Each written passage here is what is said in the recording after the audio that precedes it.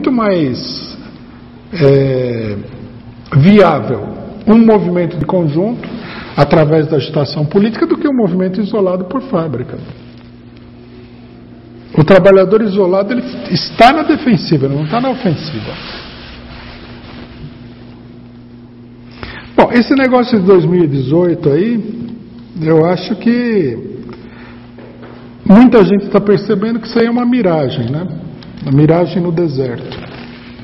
A miragem o que, que é? Está aquele calorão, o cara vê um brilho lá, pensa que é água, porque ele está morrendo de sede. O desespero na política é mau conselheiro. Não é porque você está desesperado para encontrar uma solução que isso daí vai dar a solução. Você tem que pensar com a cabeça fria. Não podemos correr atrás de miragens. Nada indica que isso daí seja uma solução. A direção do PT falou o seguinte: que nós podemos criar um movimento cívico, papapá, como as diretas já em é, 1984. Também não parece que o povo esteja com essa ilusão. Em 1984, nós tínhamos um governo militar debilitado, um movimento em ascenso. Nas ruas tinha frequentemente manifestações pedindo o fim da ditadura, a ditadura, etc. e tal. As greves estavam crescendo por local de trabalho, contrário do que acontece hoje. Então esse movimento serviu para centralizar toda essa insatisfação, apresentando uma solução aparentemente prática para acabar com a ditadura. Na verdade não era, porque se eleger um presidente vai acabar com a ditadura, essa aí é, uma, é outra fantasia. Mas parecia uma coisa prática.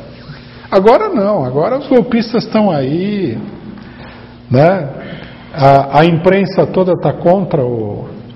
A imprensa é toda golpista, então a situação é muito mais complicada. Isso aqui inspira muito pouco entusiasmo no pessoal. A única coisa que conseguiu fazer com que o movimento se animasse na luta foi a palavra de ordem de, de contra os golpistas, não vai ter golpe. Essa foi a palavra de ordem que levantou o pessoal. Agora vocês vejam como é a política. O pessoal todo fala que você tem que prestar atenção no que os trabalhadores estão falando, que tem que ser não sei o que, não sei o que lá. Mas a realidade é isso. A palavra de ordem que levantou o movimento foi: não vai ter golpe. Quer dizer, um movimento contra o golpe. Foi votado agora é, diretas, vamos, vamos não sei o que, vamos pressionar a, ONU. Não tem, ninguém quer saber disso aí. O pessoal quer lutar contra o golpe. É isso que nós temos que recolocar. Atravessar esse período de confusão e recolocar o problema da luta contra o golpe. E o que aconteceu com o Lula mostra que esse é o único caminho. Tem que derrotar o golpe.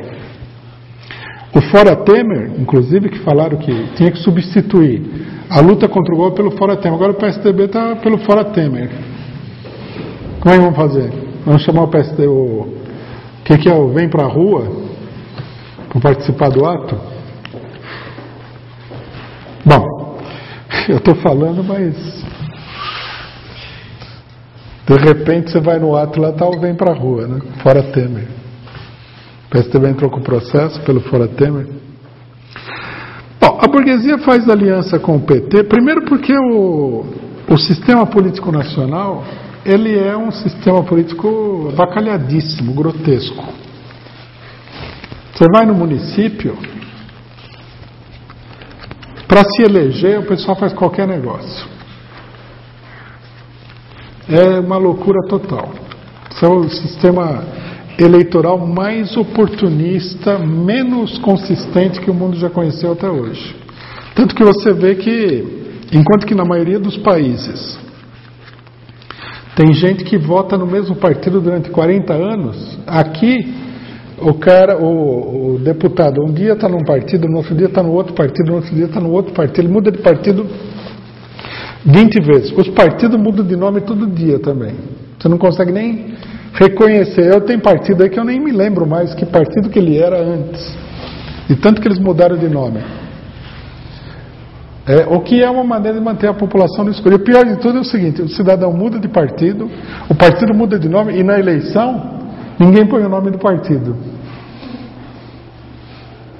que é outra loucura. Então, essas eleições municipais são uma loucura. O PT, PT está cheio de gente aí que entrou no PT só para conseguir se eleger. Não tem nada a ver com o PT.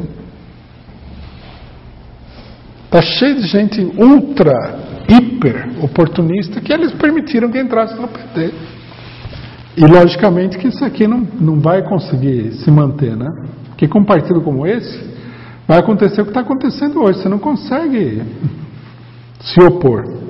Segundo, a burguesia aceita isso daí, primeiro porque é uma loucura, esse é o sistema eleitoral nacional, mas também porque ajuda a disfarçar o golpe, é ou não é? O grande problema, aqui eu ia falar sobre isso, acabou que eu demorei muito, não falei. Uma coisa que também mostra que a luta contra o golpe é o fundamental é que o PT tomou consciência tardiamente de que a eleição tinha que ser uma eleição contra o golpe. Eles começaram com aquela tradicional farofada eleitoral municipal. Vamos criar o. rebaixar a guia para o cara poder passar com a cadeira de rodas. Vou pintar a parede do parque de vermelho para ficar mais bonito, porque os terapeutas falaram que vermelho é mais não sei o quê. Aquela coisa assim que é uma das coisas mais ridículas e lamentáveis que tem na política nacional. Aí no meio do caminho, eles perceberam que não, que tem que politizar a eleição. Aí o Lula foi no comício do Haddad e falou: não, isso aqui tem que ser contra o golpe. Agora, o PT orientou todos os candidatos a colocar o problema do Lula em primeiro plano. E eles, ao fazerem isso, eles se deram conta de que isso dava mais resultado do que aquela demagogia eleitoral barata. Porque a hora que o, o, o Haddad começou a falar que vão acabar com a CLT e vão acabar com a aposentadoria e tal, isso daí já deu um ar novo para a campanha eleitoral dele. Tanto que a Irondina agora está reclamando que é, o Haddad roubou a minha plataforma, o PT não era contra o golpe, olha o golpe da Irondina, o PT não era contra o golpe. Eu é que era contra o golpe, nunca vi essa mulher em nenhum movimento contra o golpe aí. Que que é isso? Mas eles comprovaram que essa era a política correta, tinha que politizar o negócio. Senão você cai no, caiu na arapuca, que a gente falou, a eleição é uma arapuca. Só que, infelizmente, chegou meio tarde, mas isso vai ter um efeito, né? Se na eleição, que é essa bandalheira total, precisa politizar, imagine fora da eleição. Os, os militantes do PT, espero que o negócio do Lula dê uma sacudida aí. Você tem que entender o seguinte: tem que voltar todas as baterias contra o golpe de Estado. É o único caminho, a única coisa que interessa à população é isso.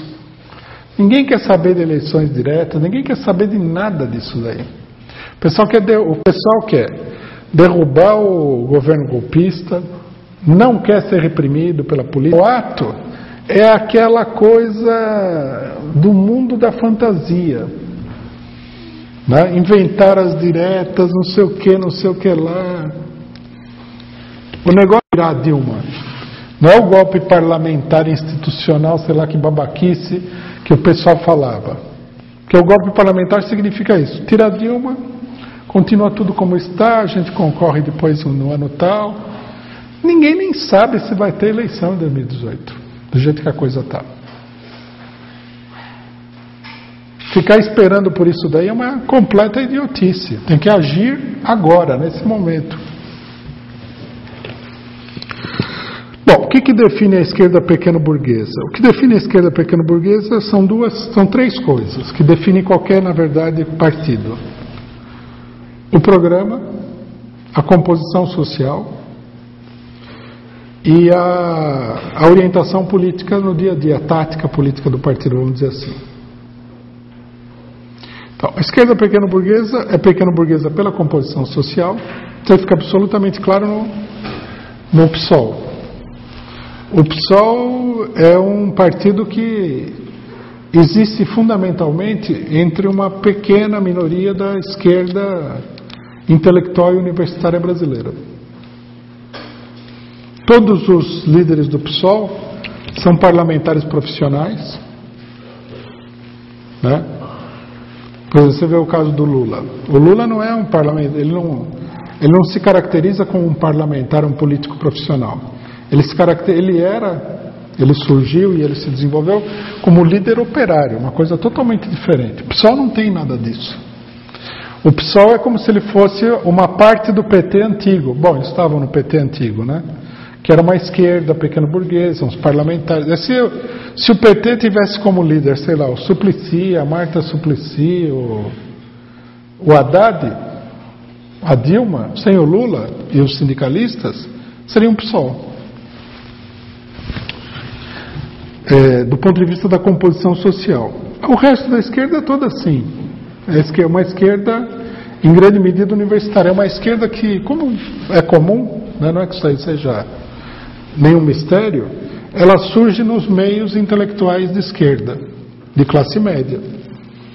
O grande problema, se você quer construir um partido da classe operária, é que esses elementos que surgiram aí no meio intelectual, porque a revolução começa como um problema de programa, etc. E tal, eles consigam né, se encaminhar para uma fusão entre essas ideias que eles têm e o movimento operário real.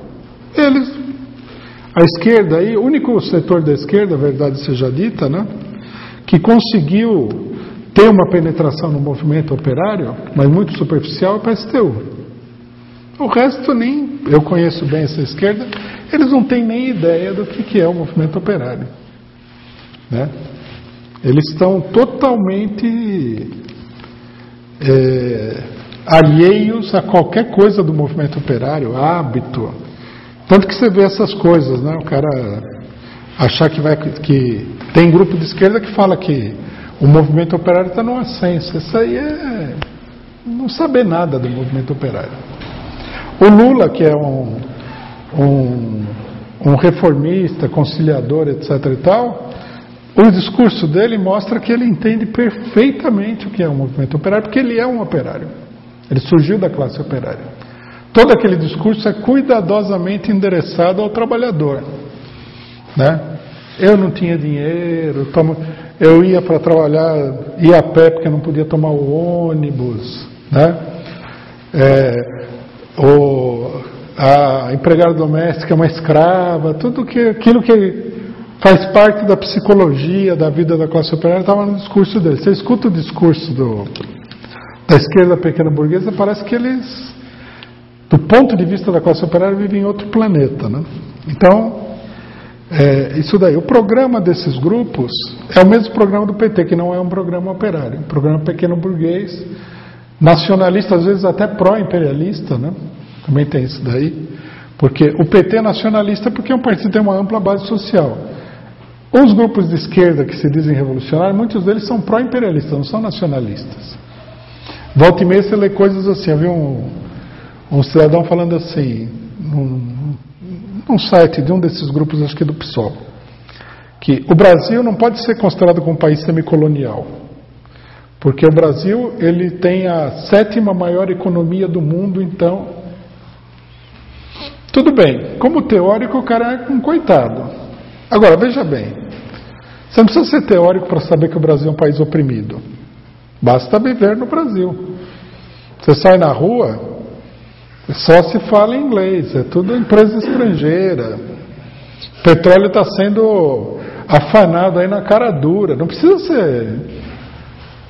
É, ter PHD em economia. Qualquer trabalhador ele é nacionalista nesse sentido porque ele sente a opressão nacional. Né?